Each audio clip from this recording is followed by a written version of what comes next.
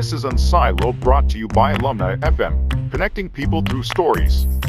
Welcome to Unsiloed. I'm here today with uh, Fernanda Pirie, who is a professor of law and anthropology, or an anthropologist who's a professor of law at uh, University of Oxford. Um, she's also the author of, of, many books, including one called Anthropology of Law, one called Legalism, uh, Community and Justice, Peace and Conflict in Ladakh in India, and most recently this uh, kind of magnum opus of sorts called The Rule of Laws, a 4,000 year quest to order the world. Welcome, Fernanda. Thank you. So, um, this idea of anthropology of law, it's, it's really kind of fascinating. Sometimes we talk about law and anthropology in, in law schools. But um, I think what you're trying to do is you're trying to carve out a, a, middle ground between the the two conventional views of law, right? So for people in the field of law, we, we tend to think of law as it's an instrument of the state, right? Which is designed to to order things, uh, to um, resolve conflicts, and so forth. But anthropologists they tend to see kind of law everywhere, right? So you know you don't need to have any kind of formal system. It's just sort of it's it's custom, it's it's norms, it's um, the way that people kind of order the world. And I remember, I mean, I think everyone remembers their first encounter with, with Clifford Geertz, right? I mean, it's kind of like, I, I don't know, it's one of those things where, you know, you read this and, and as an historian, when I read Clifford Geertz, it really opened my eyes. And, you know, he has this view, I mean, he's sort of the prototypical anthropologist. He has this view that law is just, you know, kind of how we describe the world in, in a judgmental way, right? And so any anything which does that uh, is going to be considered part of law. But but I think you're you're trying to argue that well, you know, law is actually something more specific, right? It's not just any old custom. It's it's a particular type of custom, but it's it, it doesn't necessarily require this you know centralized system of, of, of state power. So how how do we make us how do we what is the difference between you know law and just kind of the, the customs that we all seem to adhere to and, and agree upon? Well, I think you're absolutely right the way you've um, just described it and described the problem as well of those who look at law on the one hand as an instrument of the state, um, and on the other hand as seeing social norms in general as law. Um, and the problem with that is that you know every, almost everything becomes law, and law is just social order. And of course, that's very interesting, but um, it loses the sense of there being anything specific about law. And what I think is specific is it's a certain style of making norms and rules, um, in particular, making them explicit. So there are where I did my first field work in, in the village in Ladakh, which was subject of that book. You mentioned peace and conflict in Ladakh. Nothing was written down. No village constitution. When they resolved conflicts, they didn't write anything down afterwards, but they all knew. We know what we do, what's right and what's wrong, and so on and so on. So it was all implicit. It was well known, but it was implicit. Other villages, um, urban centres, kingdoms, empire states make law in a more um, deliberate way. They write things down, they create rules, they carve them on stones, they, they put them in manuscripts, they make them explicit. And once they do that, they have a sort of objective quality. They can be referred to, they're up there for people to see, for people to read. And that's something different about those sorts of rules. So, it, so it's sort of it's the form of the rather than the content which, which makes a difference. And so, you know, the, fact is that our concept of law is very vague. The way we use it in everyday language, it covers all sorts of things. It covers, you know, processes of, you know, we go to the law to, to resolve our disputes. We talk about law in general ways of, oh, the laws of, you know, these people, meaning the sort of customs. We talk about law as law in the books. I mean, it's, you know, it's one of those words that's really slippery. Um, so, you know, as an anthropologist and a historian, I'm interested in finding a, a category of forms that's that's sort of more specific. There's something to look at which is might be similar, which could be compared across societies. Mm-hmm. So, focusing on the on the form, the explicit nature of rules, I think brings into focus a whole set of phenomena that you know some societies make but not all. And people make for different reasons, and they invest with different sorts of um, significance. So it takes us beyond the state to examine different types of societies and compare them. But it, it draws our attention to something more specific than just social norms in general. Mm-hmm. Now, you didn't spend a lot of time on the, on the ancient Greeks, right? You know, you jumped jumped into the mm. Romans, but but you know, when when I studied them, I, I got the sense that they used this term, you know, nomos to include pretty much anything that was kind of man-made, right, or anything that re- reflected the, the, human imprint on on the world, and, and, of course that included what we would consider uh, law. But but you know, law is is seems like they don't necessarily consider it in all worlds to be a, a man-made phenomenon, right? I mean, it's it's it seems to be something that is uh, discovered rather than made for, for some of these societies. Um, is is it important that it be something that's consciously constructed by the society? Yes, that's a that's a good point. And so a lot of people who do consciously construct their laws also attribute them to to God, to the cosmos, to ancient tradition. So, for example, the the, um, the Islamic legal system. It's it's really man's attempt to sorry, humans' attempt to make clear God's path for the world. So it's attributed ultimately to God, although it's up to human beings to sort of you know, write it down and try and make it clear. In the Hindu legal system, the laws, the texts, are supposed to reflect the cosmology, the dharma. Um, and even the common law is, you know, still thought of as ancient tradition. You know, the judges are, are declaring what the law is, they're not making it, at least in theory. So often there's that sort of ideology of, of law being out there having ancient or divine or cosmological origins, um, even if it is written down. And so, of course, the, you know, the, the ancient Greek example is a really mind-bending one. I've never really got my mind mind around it properly, and I think I, even the specialists find it hard to really understand what what the ancient Greeks were doing and what the, the way they invested meaning in their laws, partly because the sources are just so so so scattered. Um, but yes, I think their their sense of nomos was was more than what we would generally call law. Mm-hmm. But uh, it, it seems, I mean, in the modern world, we, we have sort of a, a clear distinction between the domain of law and the domain of what we might think of as as morality or you know self improvement or you know virtue, right ways of living. But but it seems like a, a, lot of the legal systems had their origins more in kind of right way of living. You know, this is how you are supposed to behave. Right. Then other legal systems seem to have more of the opposite approach, where it's really this is what you need to do because this is what the state it needs for you to do in order to maintain their, their power, right? But but but mo- today in modern's world, it seems like everybody has adopted this more Western view of, of the law, which which separates out these different domains. Exactly, and you're absolutely right that it's very much a modern phenomenon, something on the whole associated with the growth of the state, that we separate out law and morality, and law and religion as well. And really, to draw those distinctions hardly makes sense in the Islamic world, for example. So, of course, Islamic law is still very much alive and well in the modern world, but it's it's itself been sort of relegated to a realm separate from the, the law of the state.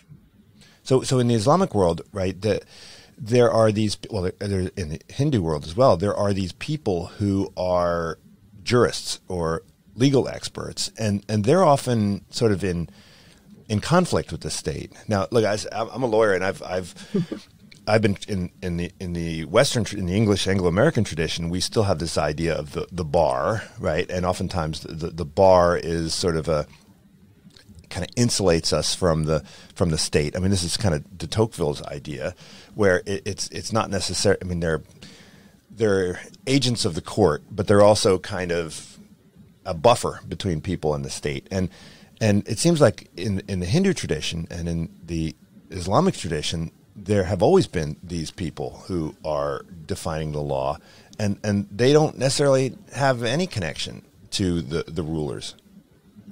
Exactly, and and that phenomenon is is a feature of a large majority of the legal systems that somehow the legal experts are separate from the power holders. Mm-hmm. Um, and that's something I was a little bit surprised about when I was writing the book, just just how often you find that in almost every example you come across. And and you're right, it's it's particularly explicit in the Hindu and the Muslim worlds, where there are religious legal experts who are very clearly distinct from the power holders who feel it's important to keep themselves apart, sort of morally different or morally superior in the Hindu world.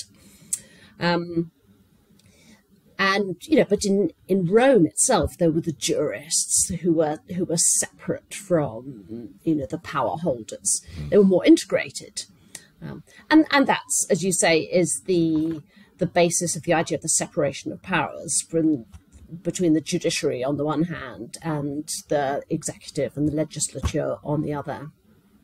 Now, how do these legal systems that have origins outside of the day-to-day business of, you know, um, organizing society, you know, how do they ultimately wind up grappling with the key issues, right? Like if, if you have a, I think I was reading, you said in the Chinese legal system, you know, everything, the only way to get some kind of action was to have a crime, right? And you know, mm. most most of our legal business as lawyers in today's world is civil law, right? You know, you got contract disputes and and uh, that sort of thing. So if if the legal system's all about you know crimes against the state, how do you how do you go about doing your ordinary business? And and similarly, right in these Islamic systems, I mean you know, there's there's not the Sharia seems originally to be pretty vague on issues of you know contract enforcement and and the day to day that that lawyers spend all their time doing. So how do they? I mean, do they just have to use you know legal fictions? Do you have to kind of rummage around in inside the the, the law to try and find something that's that's that's relevant? Well, most societies have got ways of resolving disputes outside the law.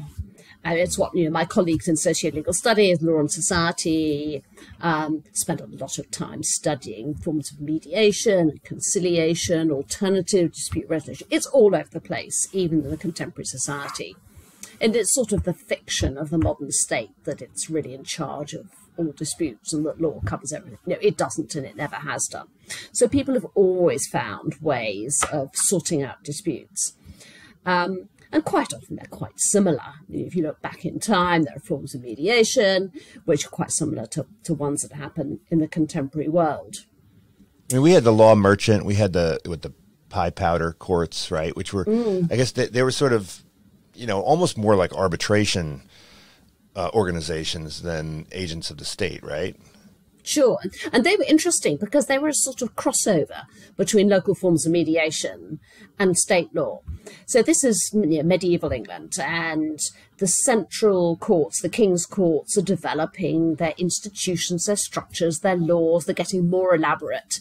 But they're really places to go if you're fairly wealthy or if you've got certain types of disputes. You know, they start off really dealing with land disputes, land issues. That's what the, you know, the common law is supposed to be about, a sort of a single sort of set of rules for, for, for land ownership.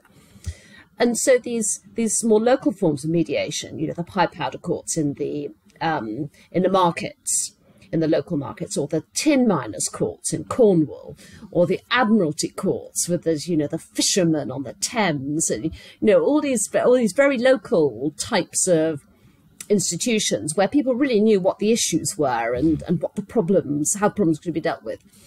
Those types of courts sort of gradually took on some of the trappings of the central court, you know, the procedures. They they started using juries. Um, they started demanding the sorts of sort of documents and sorts of processes that the king's courts did.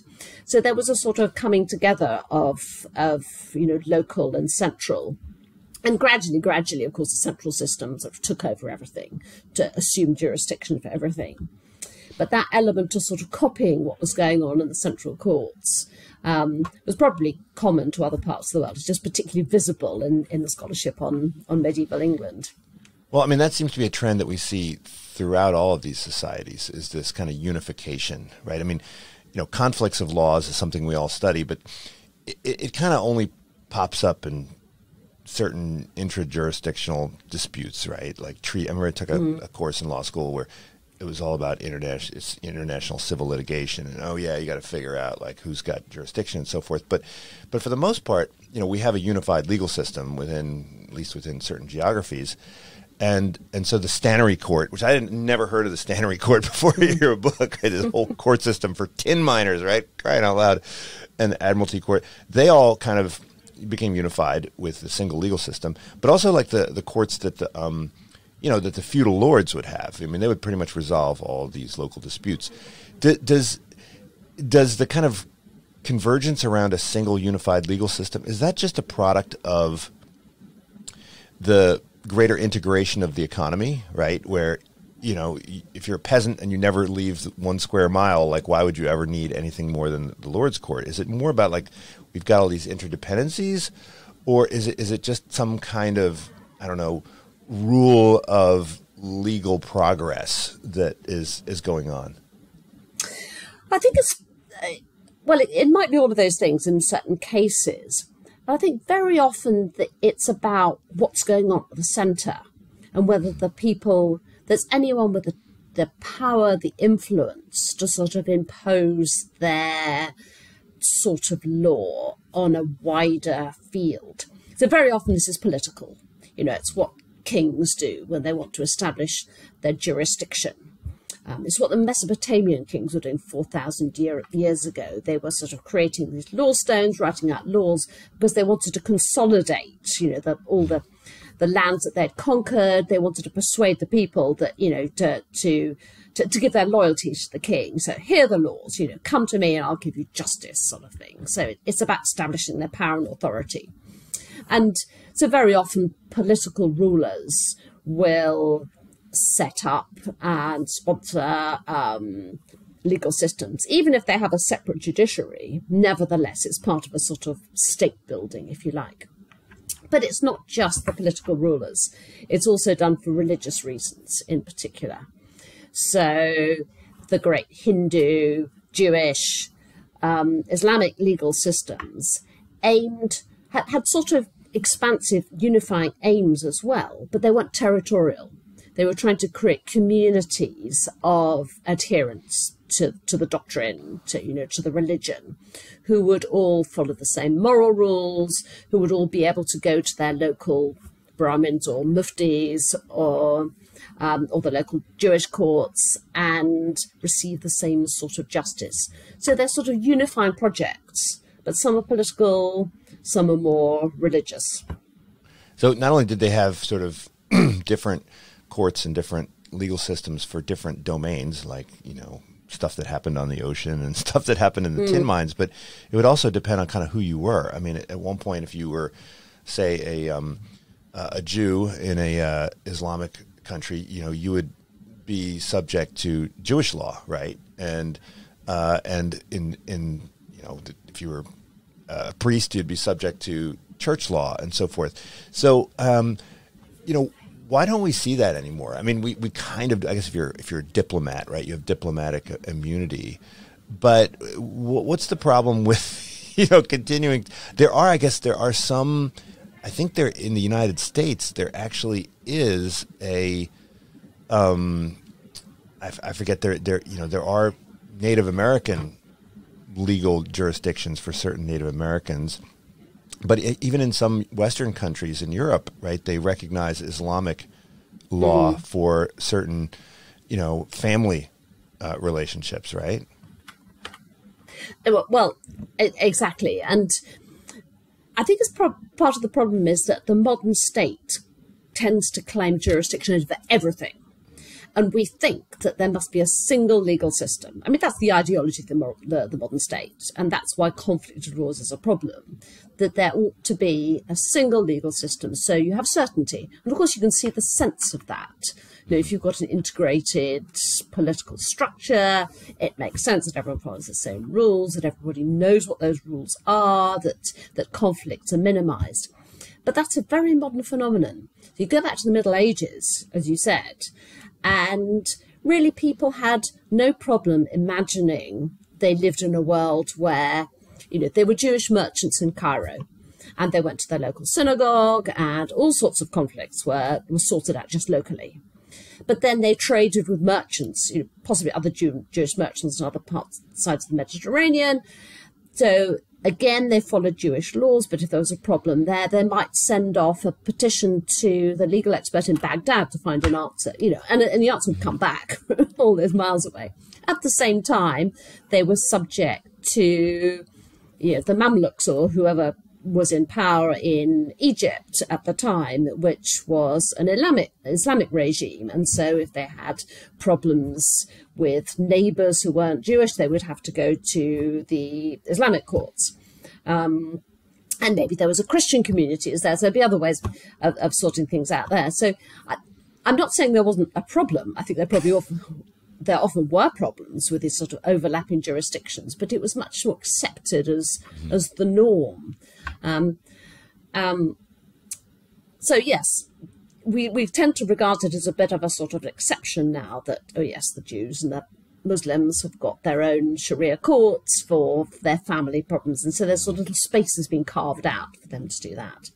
Mm-hmm. But then, if we think about the transnational realm, you know, if you go off and you're in international finance or international trade and you've got disputes with people from you know, Europe or China or whatever, there are all sorts of international sort of treaties and schemes and principles, you know, international principles about finance and so on, and arbitration. Mm-hmm. And people go off there, they just accept that that's where they need to go rather yeah, you than can, I love, courts. I love it. You can, yeah, you can choice of law, choice of forum, right? So you know, you get into a contract, you're like, I want to have, you know, Swiss law in uh, in in a London court or whatever, right? You, know, you, can do that stuff now, but mm. but but uh, but I think um, you talk a bit about colonialism, right? And and I think the the original idea that many of the colonial powers had, including the English, was, you know, we're, we're just going to come in and you know, we're, we're going to apply English law to all the English people, and uh, we're gonna, we're going to let everything. You know, we, we don't have the, the infrastructure to get involved in, in all these local disputes, mm. and and so the idea was just to leave everything alone. But but it seems like almost unintentionally and inadvertently, the the colonial law wound up taking over everything. Now, is that is that is that was that really?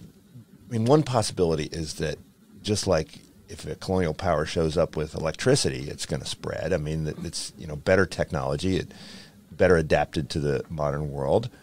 Um, but but it, you know another story is is just that you can't have these these conflicts, and ultimately the more powerful, uh, you, know, jurist is gonna, is going to is going to drive out the other, and so it's driven by state power is and that, that state power story could have also be driven by the successors to the colonialists, right? They, they also are interested in maximizing state power. So is it is it sort of a state power story, or is it more like a technology story? Can we think in terms of legal technology and uh, kind of more sophisticated legal technology?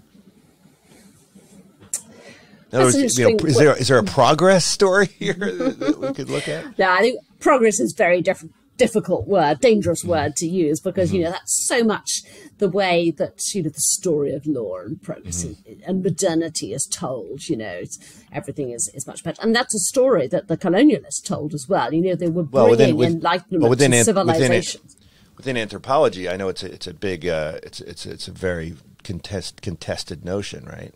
Yeah, yeah, exactly. And the fact was that you know up until you know the the 16th, 17th centuries, you know, the, the Eastern legal systems were way more sophisticated than anything in Europe. It just the colonialists conveniently forgot about that when they decided to march into, you know, India and Indonesia and Africa. Um, so let's let, us let us set aside the idea of progress. But I think you're right that it's that colonialism was a sort of well, it's a multifaceted story anyway.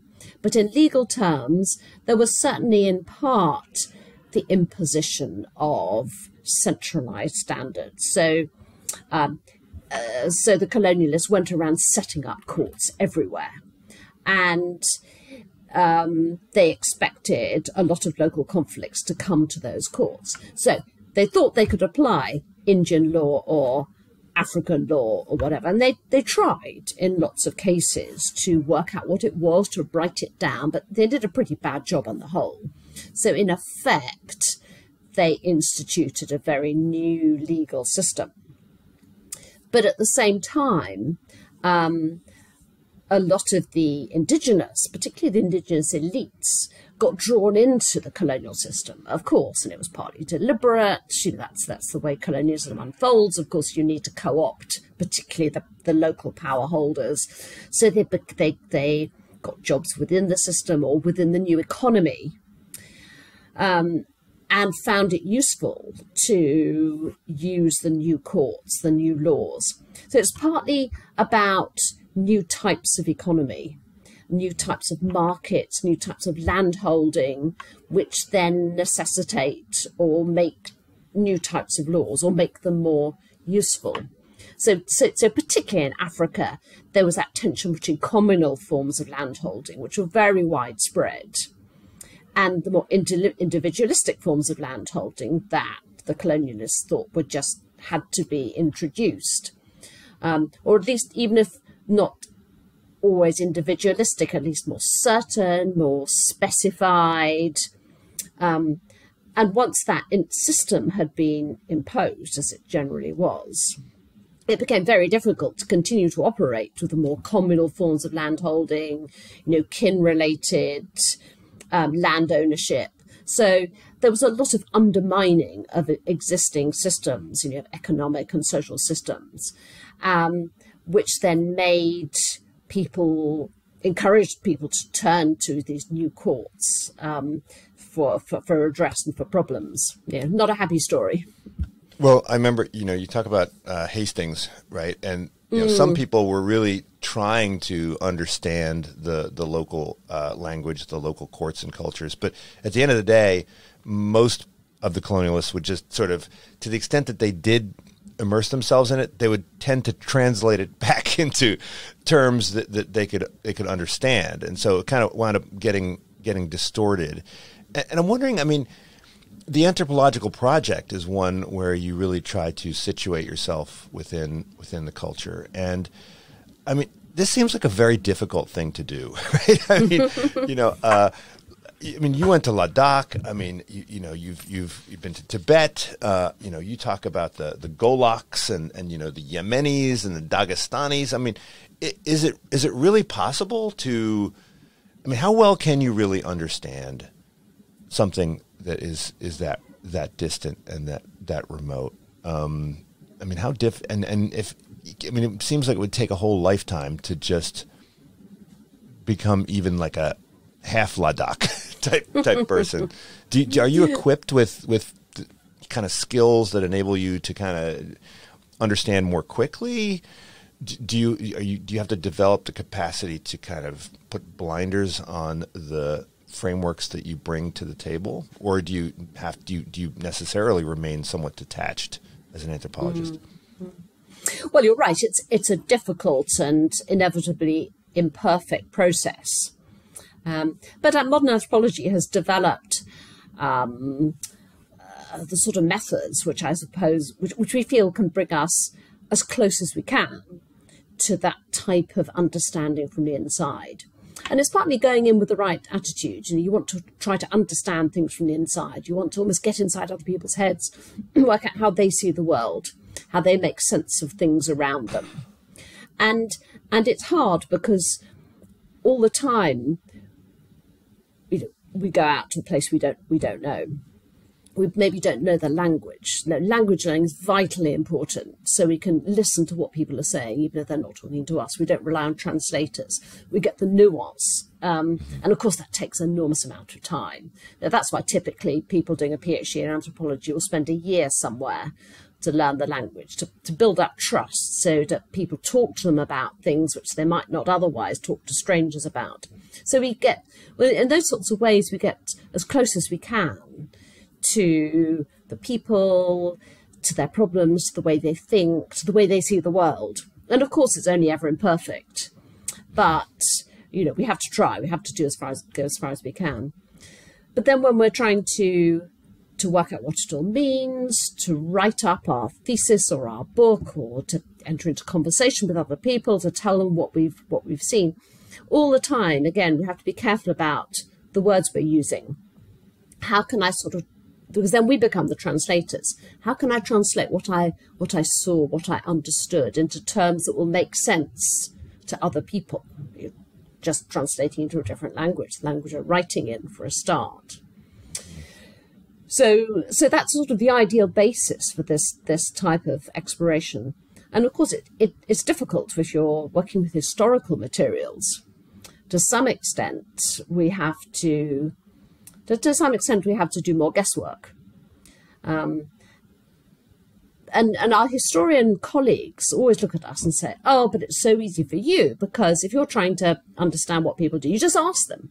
And of course, it's never as simple as that. You ask people, oh, and very often they'll just go, why are you asking that question? You know, people are often bad at explaining things they just do naturally. So we have to interpret, even if we're, we have, have to try and find ways of getting at the truth, in, um, even if we're anthropologists. In the same ways, historians have to try and interpret their material. So, why do people write like this? What were they trying to do? But it's partly about asking the right questions, trying to put yourself in the mind of the, the people who wrote those laws or that document or had that dispute. You know, why were they why were they talking in, in, using that language? Why did this seem important? So yes, it's always imperfect, but you know we have to do the best we can. Well, of course, the difference between going to say Ladakh and talking to the people there and doing this historical anthropology is that when you do the historical research, you're limited to the kind of written records to some degree. Exactly. Does, does that does that do you think that distorts our historical perspective? The fact that you know we we do we overweight the, the legal aspects of it? I mean, you, you mentioned that like Egypt and the Aztecs and the Incas. I mean, they didn't mm. have any, you know, written written law. I mean, did, did they have did they have law if they didn't have written law, or you know, how can we understand what what what what that was like? I mean, uh, do we just sort of infer? How, how do we how do we get a sense of, of what what was going on in those societies? Well, you're absolutely right. It, it's limiting. It's very limiting in terms of what we can then do. So, hence, ancient Greece being such a puzzle. You know, the the sources make it just difficult for us to work out what was going on. Whereas in other cases, a lot more was written, and it's and it's we've got more to, more to work with.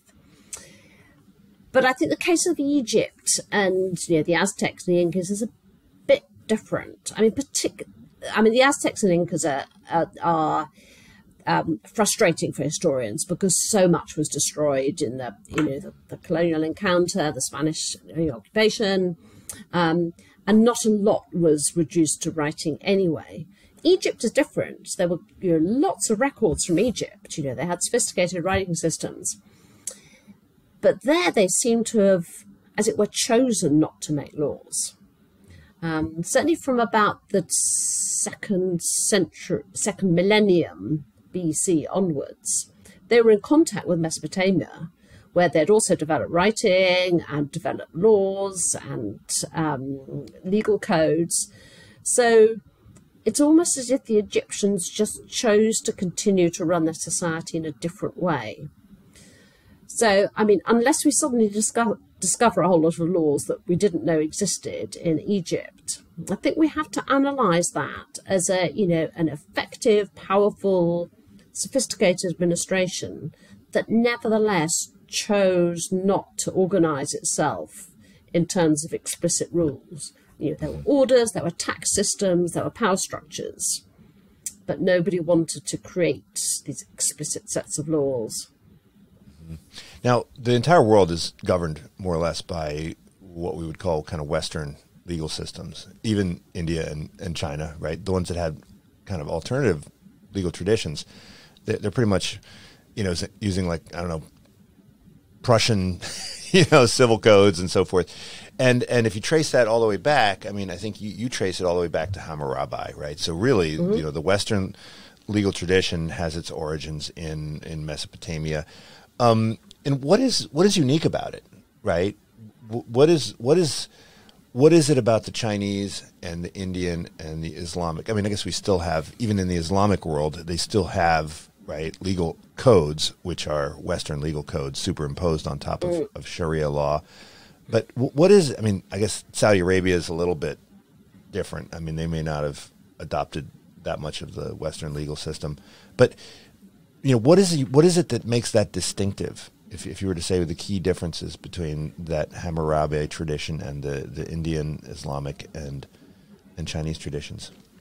I mean, what's what's distinctive about the modern Western well, the, tradition? The, what, that, that flows all the way back to Hammurabi. Oh, I right? see. What is, so so if you were mm. if you were to place bets, if you went back and you know I don't know twenty five hundred years ago, or I guess uh, we didn't have the I mean the Indian tradition, the Chinese tradition, and the the Roman tradition kind of all emerged around the same time. And if you had mm. to you know place bets, what would what would it be about that Roman tradition that was unique?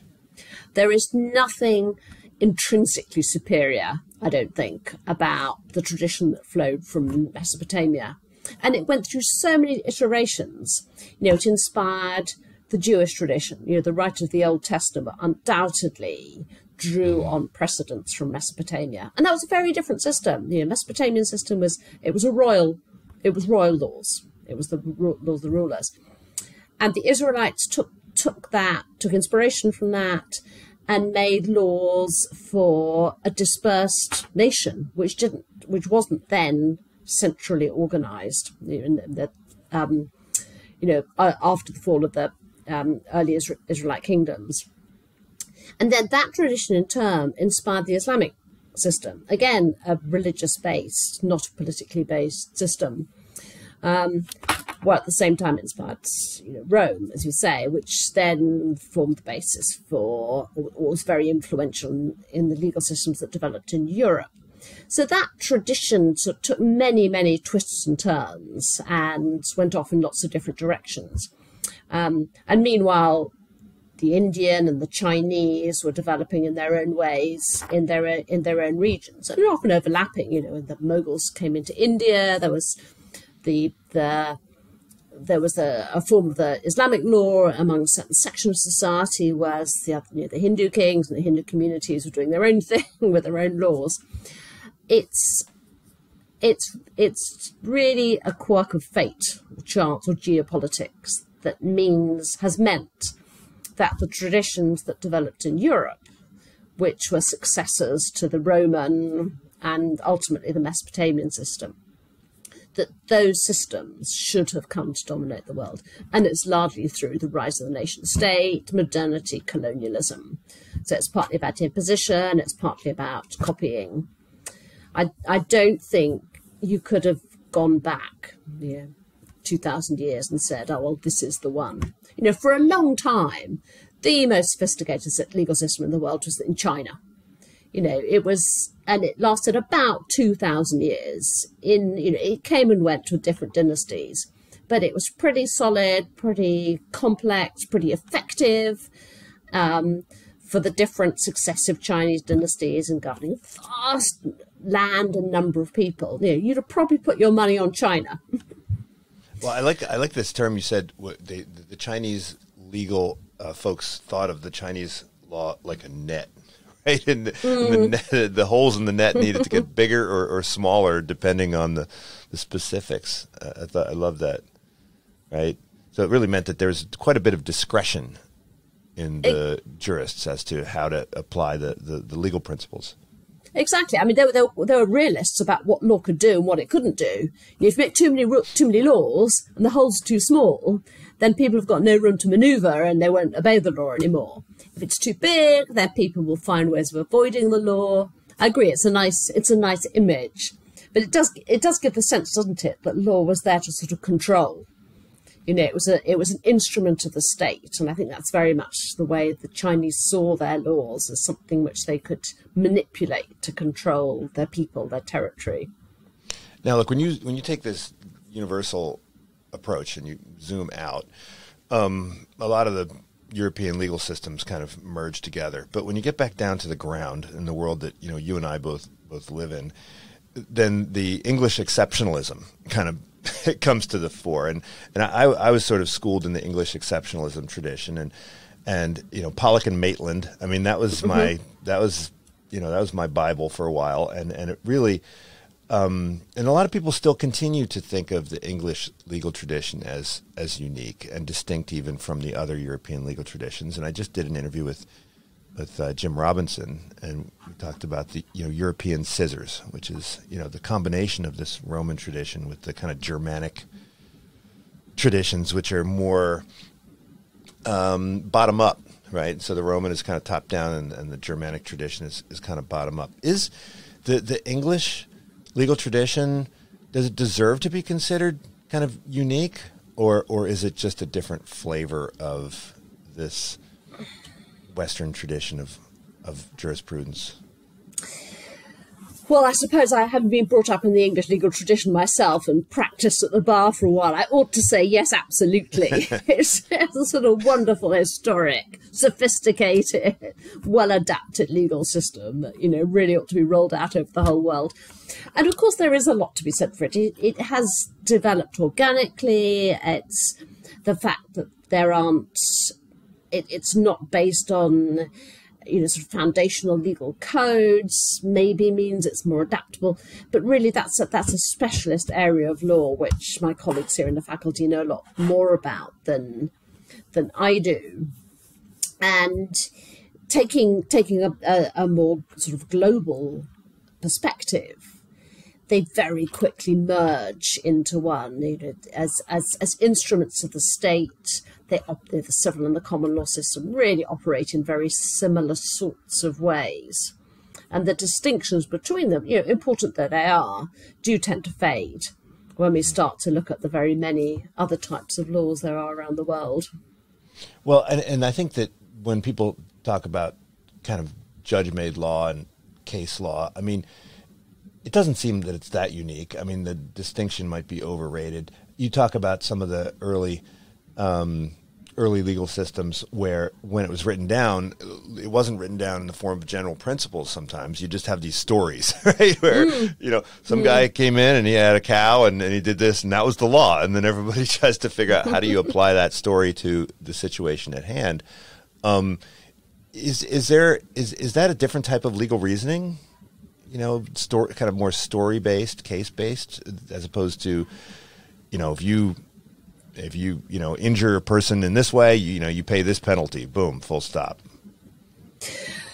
Yes, um, I mean, I, I, I suppose I suppose the case-based legal reasoning sort of approximates or gradually approximates in the common law system to um, the reasoning which is based on written laws, on legislation, for example. So, you know, through, through precedent, you know, one judge will say, as what the, the rule was in this previous case was X. And so then the people writing the textbooks come down and they say, oh, here we are, this is what the law is, which are going to extract the cases. It becomes almost like a bit of legislation. Um, but I, I think the sort of the judge-based reasoning probably is more widespread than it seems. It, it, seemed to me, looking at Hammurabi's code, for example, it looks like a bit of legislation. It's written up there. It's fixed. It's not. It's not work in progress, as it was, as it were. But it does reflect individual cases, and so, and it was very specific, and it covered some topics. It didn't cover other topics. So, you know, the question is, well, why was this? Why was this written up? If it was only sort of partial like that. So I think the, for people to use it at all, it must they must have approached it in the sort of the way we approach precedents. You know, oh well, this is what the rule says, that sort of case. So by analogy, it must be right to do this in this case. Or, well, my case is a little bit different, so I'm going to do something a little bit different. So, I, yes, I do think that, that common law style of reasoning, we have to sort of read into the way in which people used quite a lot of different laws throughout history. Well, um, you know, you spend a whole chapter on on feuds, right? And mm-hmm. uh, well, not on feuds, on um, you know, uh, uh, trial by battle, and you know all this sort of stuff. Um, and it seemed to be quite common that you would resolve a dispute by getting into a, I don't know, a duel or or um, you know a fight, or you you know carry some hot piece of iron and you know this sort of thing. Um, I mean, to an outsider, uh, if, if you're not raised in that tradition, it just seems ab- absurd, right? Um, I, I, just saw I just saw the Crucible recently, and, and I think in in the one of the scenes they talk about this guy who they just pressed with stones, right? you know, and and and and yet that kind of persisted for long periods of time before it was kind of abolished. I mean, some would argue that today it's it's kind of similar. Like whoever can spend the most on a lawyer, you know, is gonna, is likely to win, and that's not that much different mm. from from you know dueling. Um, but but you know, why is that? Why did we have those sorts of, of things? Was it just a way mm-hmm. of, um, I guess, benefiting the, the the wealthier? I mean, did that somehow play out. If you were wealthy, you could afford better armor, and therefore you're more likely to win a, a, a trial by by fire, so to speak. Mm, I think. I mean, it was a surprise for a start. It was a surprise to find that the same sort of techniques were used so widely throughout the world. You know, that's the only chapter in the book where which doesn't have a geographical or a temporal focus, mm-hmm. because it's one of the few issues which do seem to me to be widespread. And yeah, I was as surprised as you when I when I looked at this and I saw this. I think what's key to it is the problem of finding the truth. And of course, there's always going to be a problem with finding the truth in some cases. You know, he said, she said, there weren't any other witnesses. So how are we ever going to know what happened? Or did someone intend to kill, or was it self defense? Uh, did somebody consent really, or did they not? You know, these problems are actually universal, and of course I mean, they could have they could have just they could have just flipped a coin, right? Wouldn't that well that would work, right? yeah, but I mean, I think there was always a feeling that they had to somehow get to get to a sort of justice. There had to be some form of of of, of doing the right thing anyway.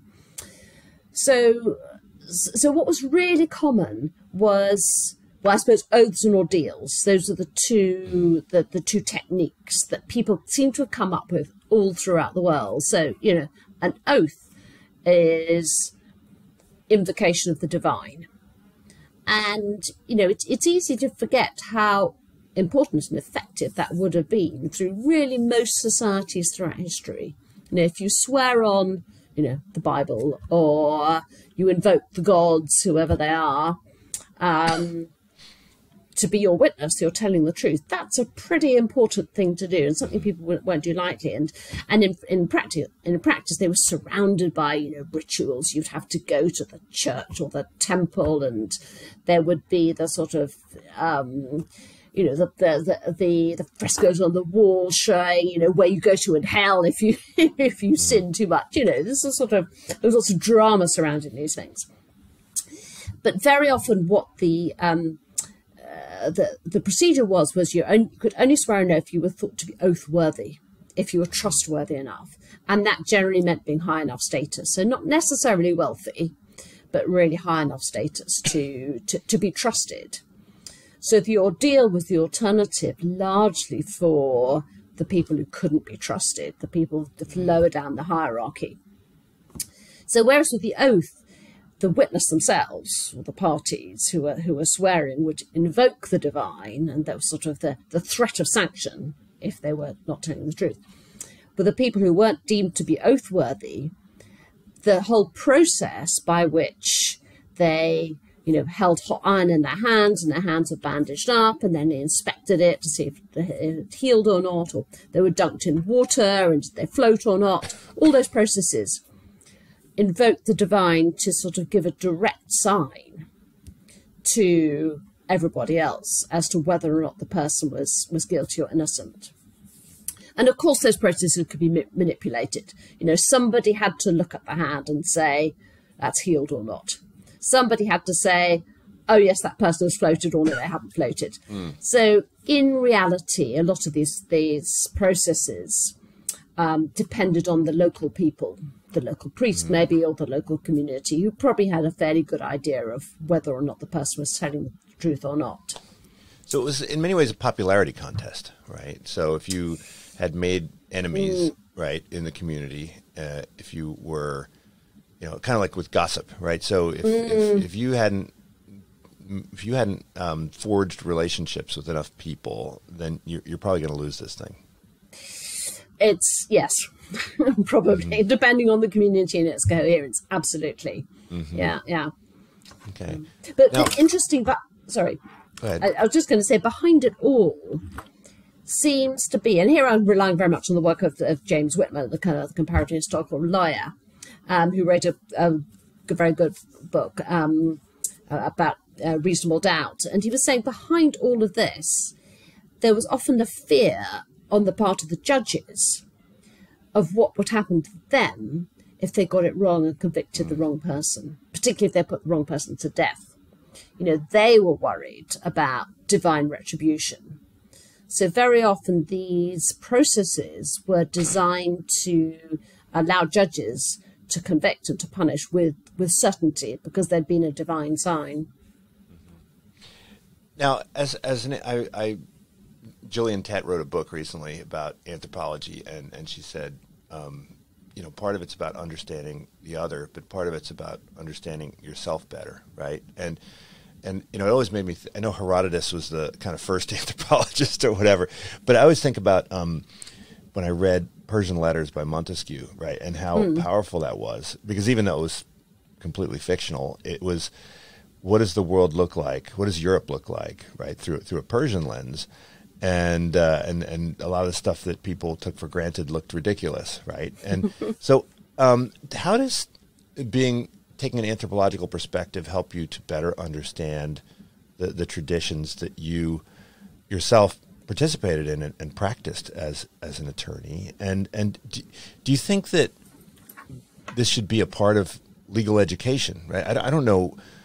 Probably got to be less than one percent of lawyers get exposed to legal anthropology. Uh, probably less than ten percent, at least in the U.S., get exposed even to non. U.S. or non-Anglo legal systems, right? So, um, you know, is this is this something that can improve the the practice of, of law and the, the legal process? Does it make you a better lawyer? Do you think to have just a modicum of exposure to to legal anthropology? I, I think the benefit is sort of fairly indirect. I mean, I don't think we should be going around to different parts of the world to try to learn techniques which we can apply to our own legal system. But understanding how, I suppose, specific our own legal system is and how recent it is in the terms of world history and how um, it it's not you know we can't understand that has been the culmination of 4000 years of history you know the best legal system we've got or we could ever had it's just something that happens to be here now and there are all sorts of other traditions that have developed in different in different places I think that is, is important so that certainly those who come into a position of being able to influence the shape of a legal system are aware that this is not the only answer there is. This is this is not the only possible system. And there are two particular areas where I think having a sense of the way other people approach disputes and law is important. And one is when dealing with transnational um, aspects. You know, the, the, fact is that um, you know, a lot of international lawyers worry about is there enforcement? Are things democratic? They, they apply the ideals, the ideologies of the modern nation state to the sorts of legal processes that develop transnationally because they have to, because they're transnational problems. And I think it's important not to just assume that everything has got to work like state law works. It's important to allow that there can be effective ways of approaching disputes and, and making laws, which might work in different ways. So that's one area. And the other area is in that of sort of local local systems of justice, um, which which still very much much continue. So there's been the law and development movement. There's been the movement for transitional justice, you know, to try and roll out forms of better forms of law and justice throughout the world. Again, often the assumption is that we in the West know what we're doing. We've got it right. We've got the best systems. We've got the right principles. And it, and it, those sorts of programs can run roughshod over local dynamics. Um, it, there are lots of case studies of, of people who've looked at transitional justice programs in the aftermath of conflict. And of course, everyone wants to help um, those who've suffered from conflict to, to receive justice and so on. But if, if those programs don't reflect and correspond with local dynamics, they'll never work. So there's two two areas in which I think just an awareness of the, the many alternatives there are is important for all of us. Yeah, and and I think you know right now we have sort of creeping, you know, the the, the law expands its sphere, sort of continuously. I think uh, the the default response of someone who's involved in a dispute today would be to summon the power of the state, right? So you know if you're if you're in the playground and and and, mm. and, and, someone's uh, you know bullying you, right? The idea is to call the call the state first, right? Um, and you know, the, the, I guess the restorative justice movement is is a movement to try to let people within the community help resolve some disputes and and uh, and and and create reconciliation. Do do we under underappreciate and undervalue these other non-state institutions and their role in kind of resolving disputes and and maintaining the peace and uh, creating harmony? I think often we do, absolutely. Um, but also sometimes I think we underestimate how difficult it is to to develop those institutions mm-hmm. from scratch. Um, you know, we can't just take a model that's worked somewhere else and assume it's going to work in a different context. You know, it's all about understanding the local dynamics, which are different. You know, who are the power holders? Who do people listen to? Who has respect? What are the tensions in the community? What are the prejudices? You know, all of that comes into the effectiveness of any sort of local local systems. But yes, I mean, there are lots of good restorative justice programs that are being tried out. And, you know, we've got to try them and see, really. And if something works, support it. Hmm. Well, Fernanda, thank you so much for joining me. The, the rule of law is it's definitely not a Whig history, right? It's it's it's really uh, you know very very uh, uh, sympathetic to all the different legal traditions that you uh, articulate, and don't forget, of course, these other books that are like the Anthropology of Law and the book on, on Ladakh. And you've also got some wonderful articles that I read in Oxford Journal and elsewhere. So thanks so much for joining me. It's been a pleasure. This is Unsilo brought to you by Alumni FM, connecting people through stories.